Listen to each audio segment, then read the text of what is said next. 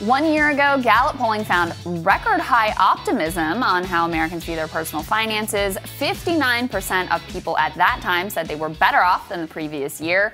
Now, new polling reveals that optimism has plummeted. Now, just 35% of people say that they are better off than they were last year before the pandemic. So, editor in chief at Gallup, Mohamed Younis, he joins us now to unpack more of that data. Mohamed, good to see you. Thanks for joining us, man great to be back. Um, really uh, depressing data to some degree yeah. to share. I think one of the really important things to keep in mind, like Krystal said, we were coming off a, a, a real high. Um, so 59% of Americans a year ago said that they thought from a, a year forward that their financial situation would be better off. That dropped to 36.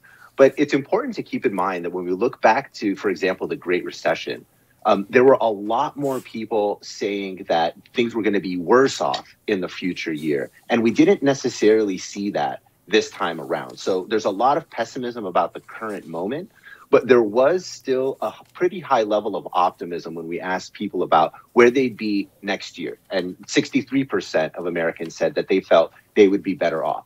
Mm-hmm. Those uh, where we, among whom we saw the most decline, were among Republicans, which was not surprising, and I can explain why. But most concerning to me uh, and our team was really among younger adult Americans. So 18 to 34 year olds were among the most likely to have declined and said that their finances um, are definitely worse off uh, this year than they were last year. Hmm. Wow.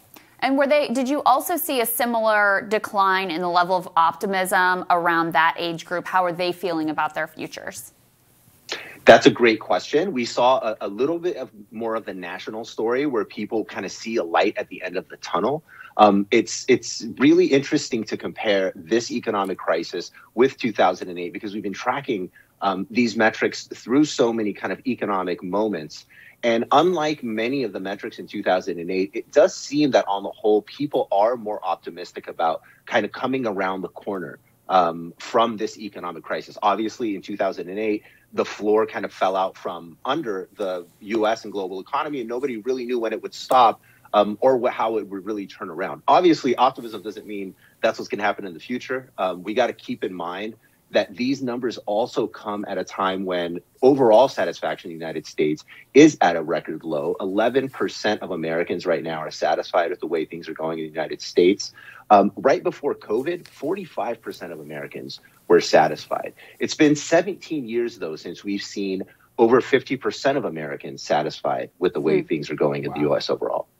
So, Mohamed, you referenced why you can explain how Republicans feel worse. Is that because it's just a partisan reflection? I mean, go into that a little bit. Absolutely. So, what we found in the past, um, I would say, uh, three administrations, if you will, is an increasing shift of a partisan views sort of skewing or partisan ID sort of skewing people's perception of how the economy is going. So if you're uh, identify as a Republican, there's a Republican in office, you're more likely to give the national economy uh, more positive assessments than vice versa. So seeing that decline among Republicans um, is not surprising because the poll obviously from the 4th to 15th coincided um, with them coming to terms with the fact that President Biden was uh, going to be uh, inaugurated in a couple days. That being said, though, um, when we ask about other aspects of public life, Republicans have a lot of resiliency. When we ask about um, their satisfaction with the opportunity to work hard and get ahead in the country, 82% of Republicans and Republican leaners say that they're satisfied uh, with that um, uh, aspect of life in America. That's actually twice as much. 41% of Democrats say the same. So it's not like Republicans are totally, uh, you know, turning their backs on the economy and think it's all over, but there are important shifts happening. One of the other, uh, Saagar, I think you'd be really interested in this. Mm-hmm. One of the really important shifts among Republicans that we saw is when we ask about your satisfaction with the size and influence of major corporations um, in national life and government. In 2020, 57% of Republicans were satisfied with the role those corporations played.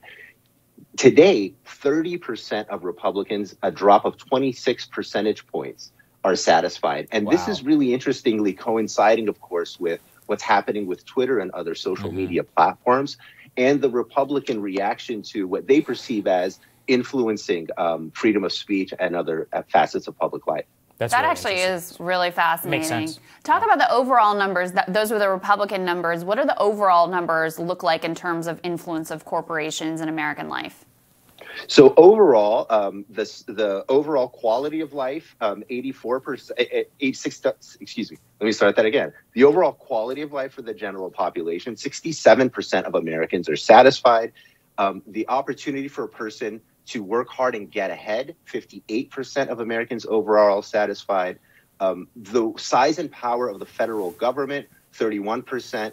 The size and influence of major corporations, which was your question, Krystal, is 26% are satisfied with the role they're playing currently wow. in 2021. So you see wow. how the Republican and Democrat shift on that, or di- di- uh, disparity, if you will, historically, has is really now coming eye to eye, obviously mm-hmm. for totally different reasons. And it's fascinating to see whether the Republican Party really does start moving more in the direction of branding itself as small business versus anti big business, which would be a really big shift we would see in our lifetimes. Yeah, that's fascinating. Those numbers are like yeah. the core of what this show is about. the like unity exactly right. of the anti-corporate view. yes. Um, Mohamed, it's always great to have your insights on this. Thank you. Great talking to you, man. Thanks for having me. Mm-hmm. Coming up, one of the key figures behind the $15 Seattle minimum wage is going to join us when Rising returns.